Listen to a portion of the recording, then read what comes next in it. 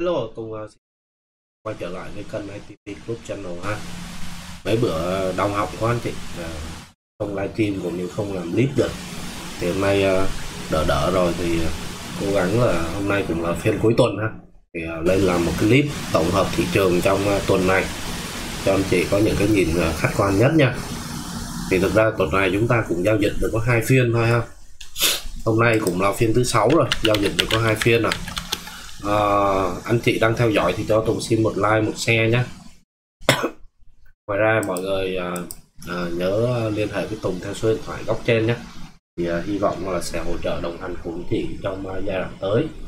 Nếu mà thị trường có cơ hội chúng ta vẫn có thể tham gia được anh chị nhé. Nên mọi người cứ à, liên hệ với Tùng.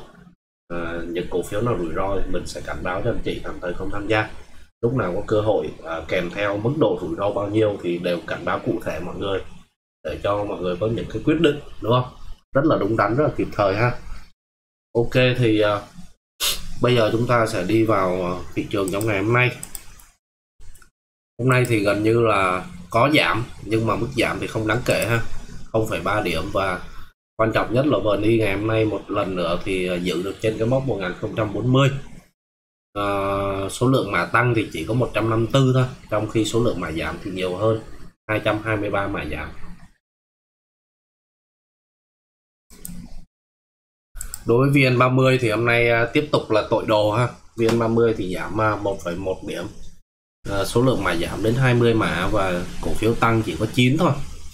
Sàn Hà Nội thì hôm nay cũng điều chỉnh riêng Upcom thì hôm nay tăng xanh nhẹ thanh khoản ngày hôm nay của sàn HOSE thì chỉ có chưa đến ờ, 7.000 tỷ.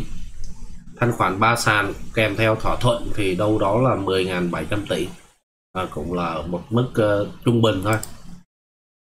Khối ngoại hôm nay thì họ tiếp tục bán ròng ha. Bán ờ, 197 tỷ và tập trung bán ở Sacombank, CTG, SSI, KBC, VBank ở chiều mua thì có DGC, Hòa Phát, Nam Long, PLX, HD Bank phá game phá game của thị trường trong ngày hôm nay tiếp tục là các cổ phiếu nhà ảnh vượng vứt Vinhome rồi à, các cổ phiếu bất động sản như CTG, bid Techcombank. Ở chiều uh, tích cực thì đó là Vietcombank ha ngoài ra thì Masan rồi à, PGV, Hòa Phát và HD Bank.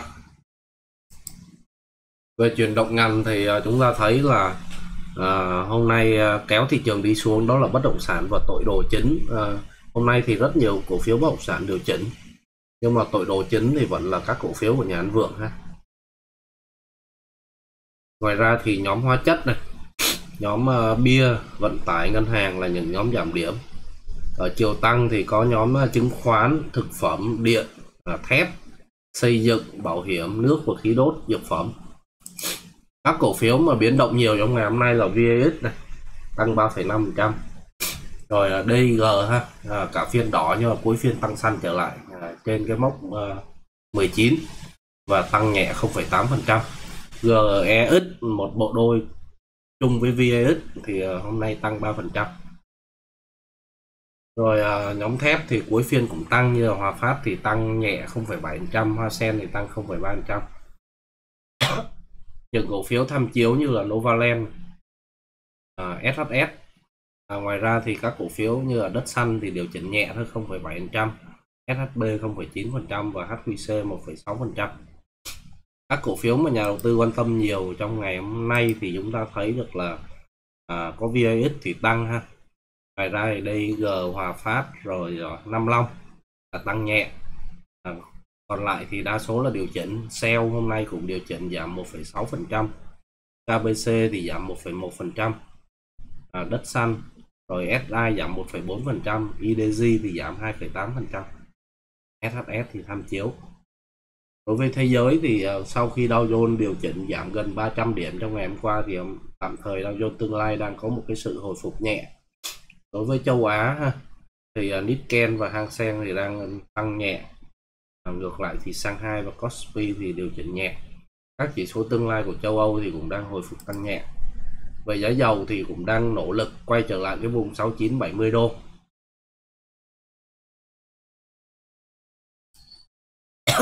Rồi quay trở lại đồ thị.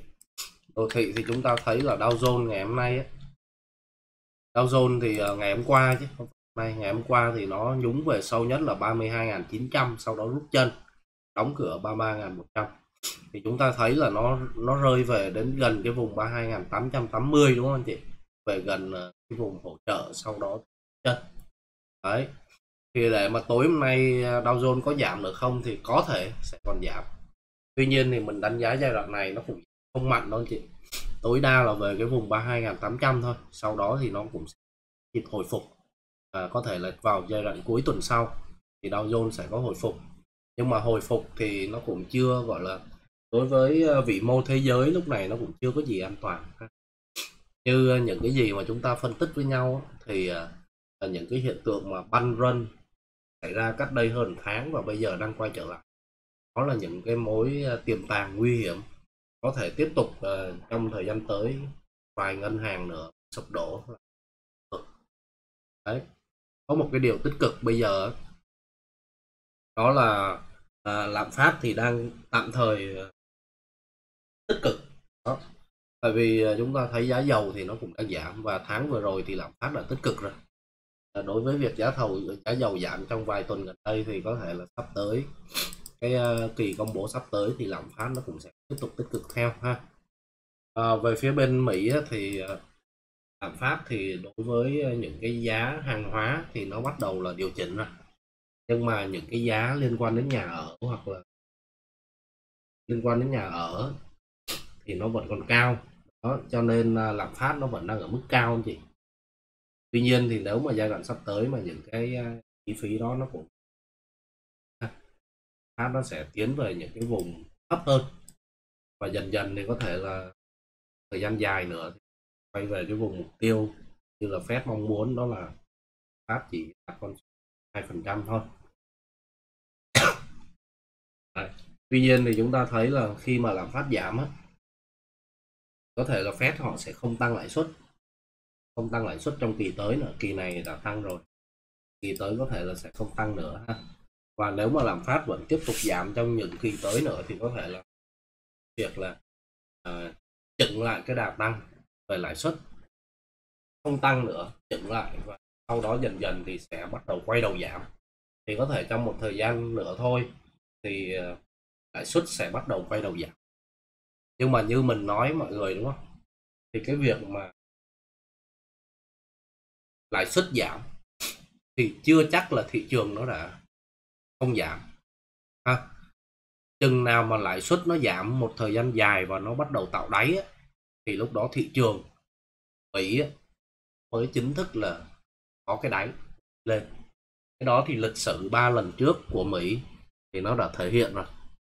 Tức là những cái lần đầu tiên mà bắt đầu à, giảm à, sau một cái quá trình kéo gia tăng à, suất thì bắt đầu những cái kỳ suất đầu tiên thì ờ, thị trường Mỹ vẫn có những cái sự điều chỉnh và kéo dài kéo dài ha. Có có thể tùy giai đoạn, có giai đoạn thì điều chỉnh mạnh, có giai đoạn thì điều chỉnh chậm, nhưng mà vẫn là một cái giai đoạn điều chỉnh dài. Cho đến khi mà sau một cái thời gian dài giảm lãi suất và hát về cái vùng mục tiêu và lãi suất về cái vùng mục tiêu rồi và lãi suất bắt đầu tạo đáy thì lúc đó thị trường chứng khoán Mỹ mới đi lên. Đó là cái lịch sử anh chị nhé giai đoạn này thì chúng ta không biết. Tuy nhiên thì uh, theo ý kiến của mình giai đoạn này thị trường chưa biết là nó có giảm được hay không. Nhưng mà để mà đi lên mạnh mẽ bắt đầu giai đoạn tới thì nó chưa chưa lúc ha. Phải cần thêm khá là nhiều. Đấy. không phải là cứ lãi suất bắt đầu giảm. Thị trường nó sẽ đi lên mạnh ngay lập tức đâu chưa phải lúc ha. Thì đối với thị trường Mỹ thì mình giá như vậy nhé Ờ, thì ờ, nói chung là nó vẫn còn là một chuyện dài. À, tuy nhiên về mặt ngắn hạn thì sẽ có một cái hỗ trợ ở khu 32.800 à, về khu vực đó có thể là nó có một cái nhịp hồi phục quay trở lại cái vùng 32.500 sau đó thì chúng ta chờ tiếp những cái sau ha. Trước mắt thì đâu đó những cái vùng ở 3.800 có thể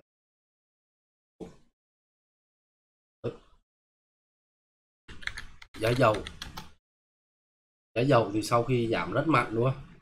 Thì trong những phiên gần đây thì đang cố gắng quay trở lại cái vùng bảy đô thì cái việc giá dầu thì có thể là sẽ từ từ sẽ giảm tiếp vậy gần đây chúng ta thấy kể từ tạo đỉnh vào tháng 6 năm ngoái ha, thì giá dầu liên tiếp đi và đi xuống và xen kẽ những cái nhịp đi xuống đó thì nó có những cái nhịp hồi phục, tạo những cái Đấy. sau đó thì nó đỉnh ngắn hạn xong nó rơi thì nhịp này thì chúng ta chưa biết là nó sẽ còn rơi hay không. Tạm thời nó đang giữ được cái vùng đáy ở quanh khu vực giá 66 đô nếu mà giai đoạn tới mà quay trở lại mất 66 đô thì có cái dầu nó lần nữa sâu hơn. Có thể là khu vực uh, khu vực khoảng tầm 50 đô thì 10 đô.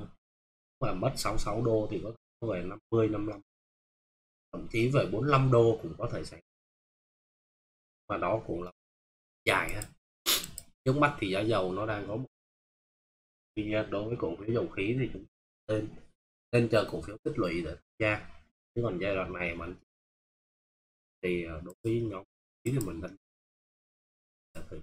tốt đâu khi nào mà tham gia được thì sẽ báo chị ha.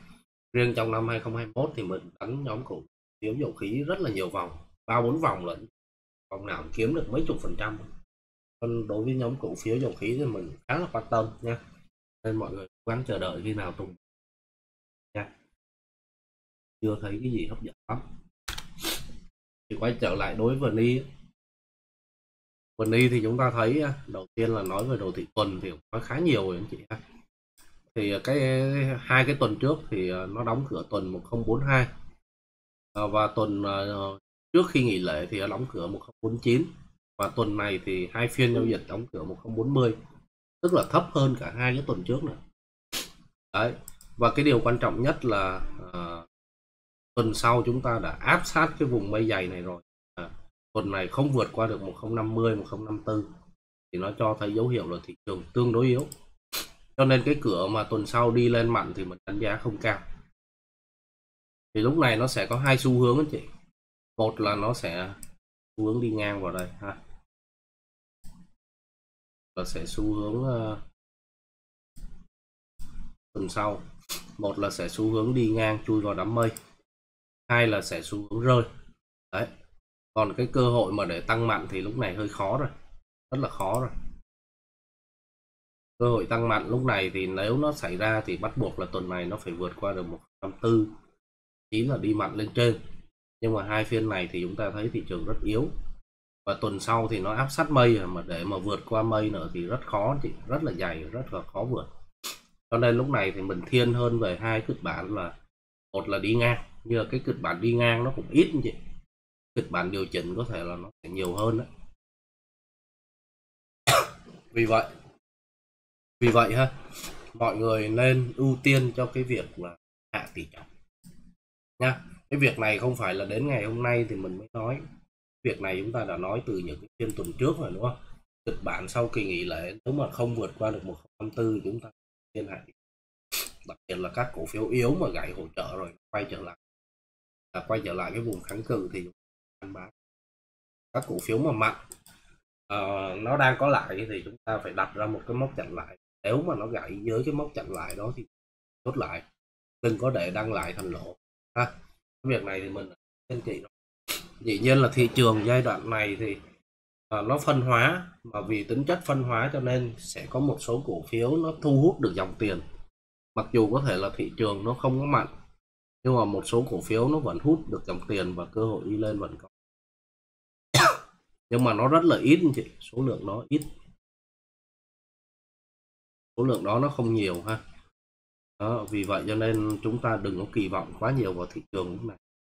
À, những cái nhịp mà mình báo anh chị tham gia T cộng thì mọi người chú ý là tham gia T cộng có lại chúng ta cứ chốt lại nhé đừng có kỳ vọng quá nhiều.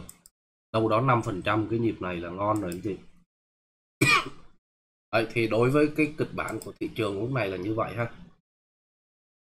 À, xác suất là hai hướng một là hướng rơi nó sẽ xác suất cao hơn xác suất thứ hai là đi ngang để chui vào mây. Thì nó xác suất sẽ thấp hơn. Đó. Nhưng mà chỉ có hai xác suất này thôi, còn xác suất mà đi lên trên, đi lên mạnh lên phía trên này cực kỳ thấp luôn. Sorry anh chị nha, mấy bữa bị viêm họng á, ho quá. Ok thì à, đối với thị trường lúc này tạm thời nếu mà nối cái đường cân giá giữa các cái vùng đáy gần đây á thì chúng ta thấy là sau phiên ngày hôm nay thì nó vẫn đang giữ được cái vùng cân này. Tuy nhiên á à, lúc này chúng ta đang thấy ha cái việc mà nó quay về à, gần cái vùng đáy cũ này là cái việc mà nó đang cố gắng test đáy. Thì cái điều quan trọng là thứ hai phiên thứ hai tới nó phải tăng mạnh và vượt qua trở lại trên cái mốc là 1045 thì lúc đó cơ hội thị trường đi lên mới nó mới còn. Tuy nhiên ha như mình nói rồi nếu mà tuần này mà không vượt được 1054 thì trong những tuần tới mà có đi lên thì nó cũng không đi lên được nhiều đâu chị. Đi lên được nhiều. Thậm chí là cái vùng sắp tới ấy, có mà đi lên thì nó cũng đi lên rất là nhẹ nhàng. Tại vì nếu mà anh chị mà học về y chi á y chi á thì anh chị sẽ biết là nó sắp tới nó có cái cản của khung tuần đó, nó rất là dày cái cản mà mới nói bên cái khung đồ thị tuần đúng không? À, cái cản này rất dày. Cho nên uh, trong vòng vài tuần tới mà để đi lên thì nó rất là khó đặc biệt là trong uh, trong ba phiên cuối tuần tới. Ba phiên cuối tuần tới thì thậm chí là có thể kéo dài hơn một tuần nữa nếu mà cái cái kịch bản thị trường đi lên đó, thì trong vòng từ 3 cho đến 10 phiên sắp tới thì cơ hội để thị trường lên mạnh rất là khó, thì sẽ đi lên rất là chậm. Nếu mà đi lên được thì đi lên rất là chậm. Đấy, thì tạm thời là nó đang có dấu hiệu là à, test đáy thôi. Nhưng mà cái việc test đáy ngày hôm nay thì nó không có nói lên được điều gì. Khi mà nó tạo nên cái nến doji. Cái nến doji này có thể là phiên giao dịch tiếp theo nó tiếp tục phá đáy thì nó tiếp diễn cái xu hướng thôi anh chị cho nên sắp tới thì mọi người phải hết sức chú ý cho mình đối với anh chị nào mà đang ôm quá nhiều hàng. Vừa giờ vẫn chưa chịu cơ cấu thì phải chú ý giúp mình. Cái đáy cũ của chúng ta là 34.8 coi như 35 này. Thì nếu mà phiên thứ hai sắp tới mà nó gãy với cái đáy cũ đó thì anh chị xét đến cái trọng càng sớm càng tốt. Cái vùng 34 35 nhé. Ngày hôm nay thì nó rơi về đến thấp nhất là 36.6 sau đó rút chân nhưng mà cái việc đó thì không nói lên được điều gì. Nếu mà thứ hai nó giảm tiếp thì là cái chuyện hoàn toàn bình thường nhé đấy, nếu mà nó giảm tiếp thì có thể là nó rơi về cái vùng bên dưới, khu vực 999 ở đây anh chị. Dĩ nhiên là giai đoạn này có thể là thị trường nó rơi, nó sẽ không mạnh. Tại vì thực sự là để mà những cái tin xấu hoặc là những cái vấn đề cực kỳ xấu như năm ngoái, khủng hoảng về thanh khoản thì nó không diễn ra giai đoạn này. Đó và những phiên gần đây thì thế giới nó cũng xấu, nhưng mà thị trường chúng ta cũng không có phản ứng mạnh. Cho nên để rơi mạnh thì chúng ta sẽ thấy thấy là có thể không rơi mạnh. Xen kẽ với những cái việc rơi thì nó sẽ có những cái cú hồi. Đấy. Tuy nhiên thì hồi về mặt chỉ số, nhưng mà cổ phiếu có thể là cổ phiếu rơi thì nó sẽ tiếp tục rơi ha. Đấy. vì vậy à, đối với những cái cổ phiếu nào mà nó đã yếu thì anh chị phải tranh thủ lên hạ tỷ trọng càng sớm càng tốt yếu rồi thì đừng có kỳ vọng nhiều. Yếu rồi nếu mà chúng ta đang thiệt hại 4 5 phần trăm thì chúng ta tranh thủ nó có những cái cú hồi về thiệt hại chỉ có 3 2 phần trăm 2 3 phần trăm gì đó. Ít và nếu có hồi vốn thì càng nên ưu tiên xử lý sớm. Tại vì những cổ phiếu đã yếu rồi để nó quay trở lại cái cú tăng mạnh thì nó chưa tăng mạnh ngay được đâu. Nó phải tích lũy lại. Tích lũy lại sau đó thì nó lấy đà, tăng mới được và cái thời gian tích lũy đó thì sẽ tương đối dài. Chứ không phải là vừa gãy xong quay trở lại tăng ngay được nó rất là mất thời gian. Thôi anh chị đừng có kỳ vọng nhiều nhé đấy thì cái kịch bản xấu ờ, của thị trường thì có thể là phiên thứ hai mà nó pha đáy thì à, nó sẽ rơi rất là nhanh. Rơi rất là nhanh. Dĩ nhiên là trong những nhịp rơi thì nó có những cái đáy cũ nó là hỗ trợ này 120 chẳng hạn. Rồi ờ, đâu đó là nó sẽ hồi nhẹ rồi nó lại rơi tiếp. À, về cái vùng 999 này thì có thể là có một cái nhịp hồi đủ T cộng tốt hơn cho mọi người tham gia. Đấy. Cho nên đối với kịch bản này xảy ra trong tuần tới ấy, thì nếu mà gãy qua cái vùng 1034 1035 thì anh chị nào mà chưa chưa xử lý thì chúng ta nên xử lý ha. Còn uh, thị trường này giai đoạn này thì mình nói rồi cổ phiếu nó phân hóa. Cho nên những cổ phiếu nào đang có lại thì anh chị cố gắng là nâng cái chặn lại lên à, chúng ta không cần phải bán hoảng loạn. À, đặc biệt là những cổ phiếu có lãi thì chúng ta chưa cần bán hết.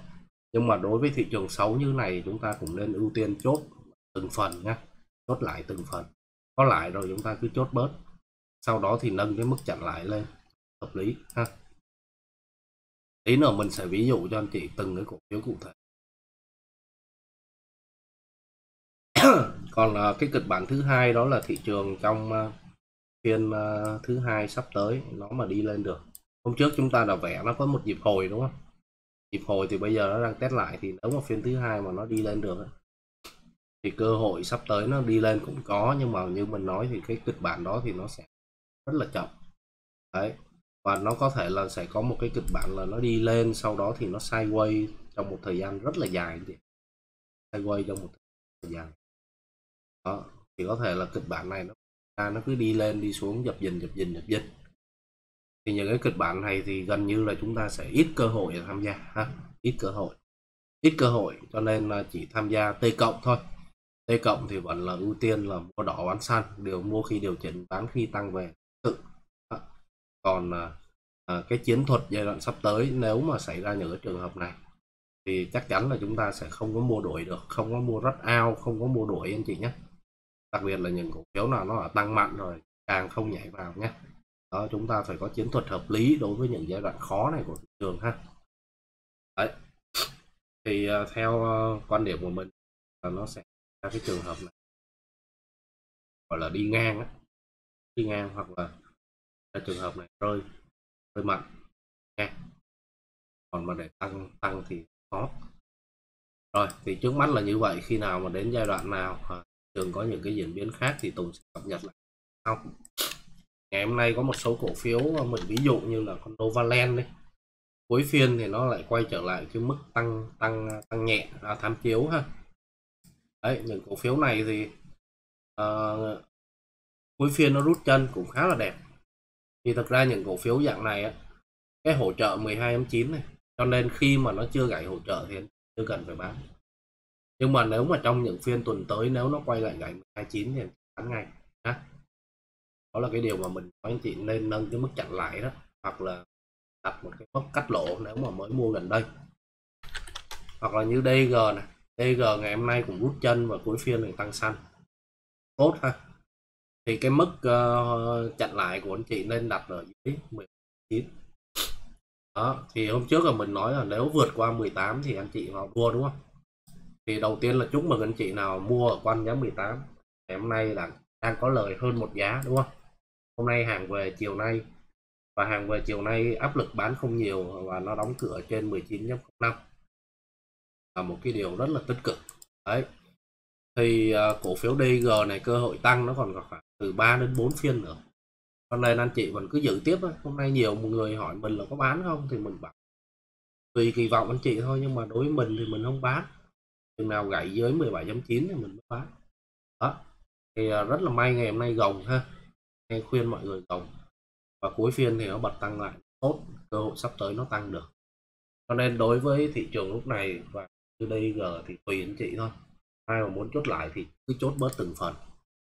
Sau đó thì à, chúng ta đặt cái mốc chặn lại anh chị. Đấy. ví dụ chốt 50 phần trăm ở quanh giá 19 đi. Phần còn lại chúng ta gồng thêm khoảng ba bốn phiên nữa xem nó về được cao nhất là bao nhiêu biết đâu nó lên được 21 thì sao? Thì chúng ta bán được giá cao hơn. À, còn trường hợp mà nó quay lại gãy thì chúng ta cái 50 phần trăm còn lại chúng ta bán hồi vốn đúng không? Hồi vốn. Ít nhất chúng ta có một cái cục lại của 50 phần trăm hàng trước. Đó là cách bán lúc này nhé còn đối với những cổ phiếu này thì mình thấy chưa có vấn đề gì. Thì mặc dù thị trường ví dụ phiên thứ hai mà thị trường nó pha đáy thì đối với dạng cổ phiếu như này thì anh chú ý chừng nào gãy 19 thì không gãy thì anh chị cộng được. Gãy thì cứ cộng thôi còn dĩ nhiên là mình nhắc lại là tùy quan điểm của anh chị. Nếu mà ai mà thấy đủ kỳ vọng rồi có thể bán hết. Còn không đủ kỳ vọng thì bán nữa. Còn chưa đủ gì hết thì gồng toàn bộ, để tùy anh chị nhé phát đạt. Phát đạt đang có hỗ trợ 13.45 thì ngày hôm nay thì nó về đúng cái hỗ trợ, sau đó nó rút chân. Mặc dù rút chân nhẹ nhàng tuy nhiên cổ phiếu này thì cần phải chú ý ví dụ à, thứ hai mà gãy qua 13.4 thì chắc là mọi người tạm thời bán. Khi nào nó quay trở lại thì lại sau. À, cái việc bán ở phía trên cao này chúng ta có thể căn mua lại ở cái vùng hỗ trợ bên dưới 12.4 bán 13.4 mua lại 12.4 thì nó cũng lời được một chút như vậy lời được một giá. Đấy ngoài ra thì ở dưới này hỗ trợ tốt có mây dày nên việc bán trên cao mua lại dưới thấp thì là thường ha nên mọi người có thể áp dụng cách đó nếu mà thứ hai nó gãy. Tư nếu mà không gãy thì thôi chị có thể giữ tiếp đó. kiểu vậy. Theo vậy thôi. Ngày hôm nay thì cái cái cái hỗ trợ của nó 24.3 ngày hôm nay không có bị phá vỡ thì vẫn tiếp tục giữ. Nhưng mà những phiên sắp tới mà phá vỡ thì đó.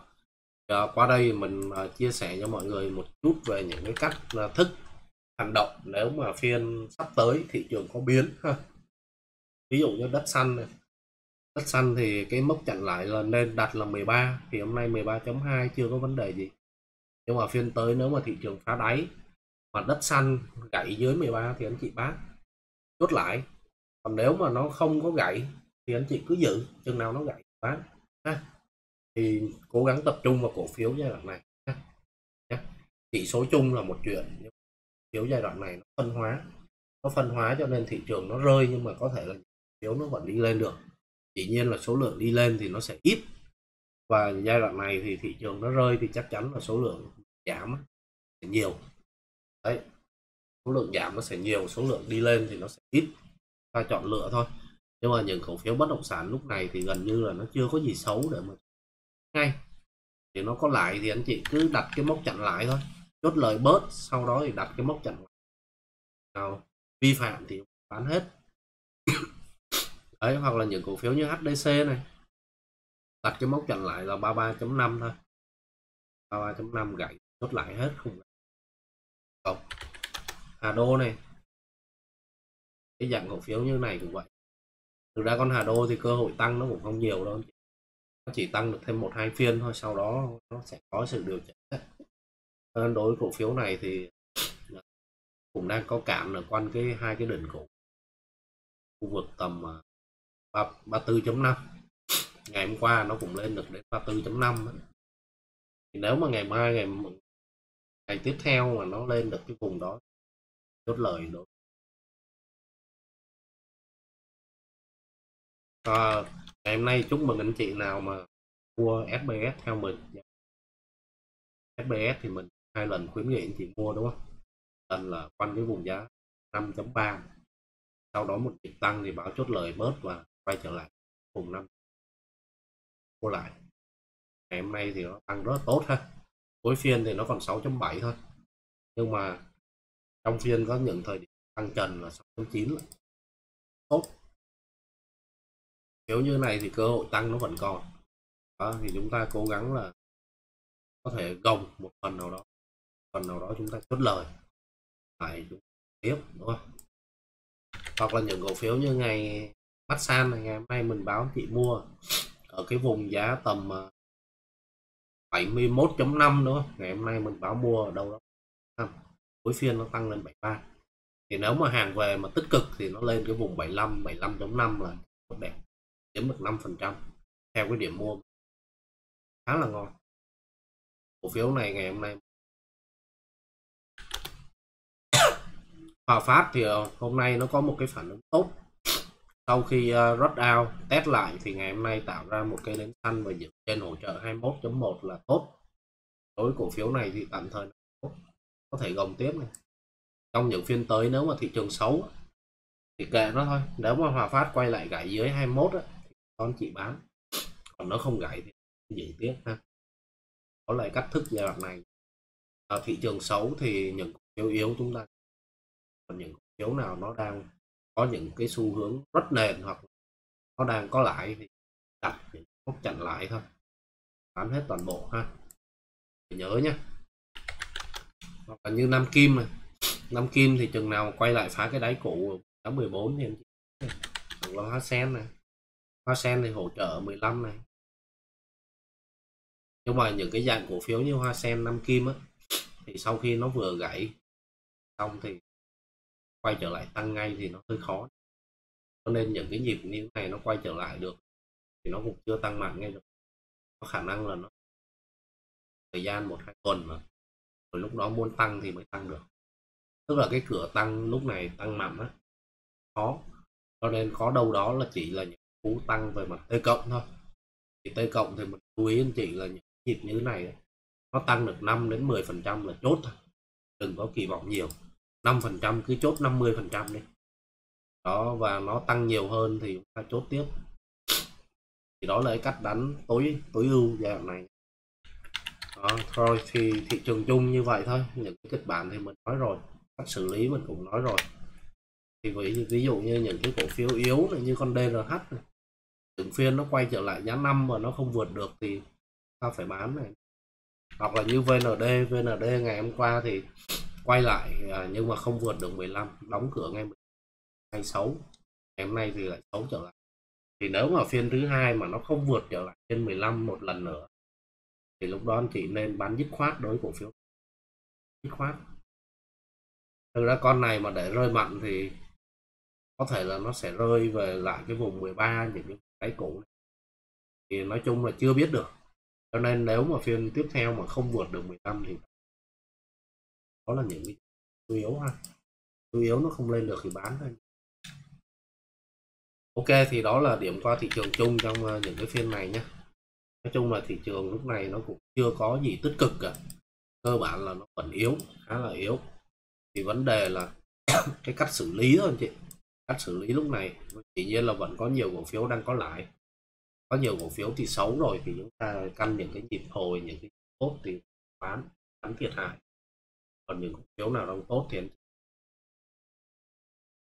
vi phạm thì bán. Còn chưa vi phạm thì nếu mà lo sợ về thị trường lúc này quá thì chúng ta chốt bớt. 30 phần trăm 50 phần trăm có một cục lại. Phần còn lại chờ thị trường chừng xấu hẳn, cổ phiếu nó xấu hẳn thì chúng ta bán cũng không chưa xấu, cổ phiếu chưa xấu thì chúng ta cứ chưa vội bán. Ok. Dạ, Tùng xin kết thúc clip ở đây. Cuối tuần rồi chúc anh chị vui vẻ nhé. Tiếp tục là hai ngày ờ, nghỉ cuối tuần ha. Ngày nạp năng lượng này qua. Tiếp. Ngày hôm nay đối với phái sinh thì mình cho một cái kèo phái sinh uh, vào long sớm vùng 30 31 thì uh, ra sáng nay nó chỉ về sâu nhất là 30.5 thôi. Và mình thì con được quanh cái vùng 31 đó. sau đó thì phái sinh nó lên được đâu đó tầm 35 năm 36 ha chốt lại 5 điểm. Cái phiên gần đây thì anh chị thấy là biến động phái sinh nó không lớn. Cho nên 4 5 điểm. Hấp dẫn này hấp dẫn.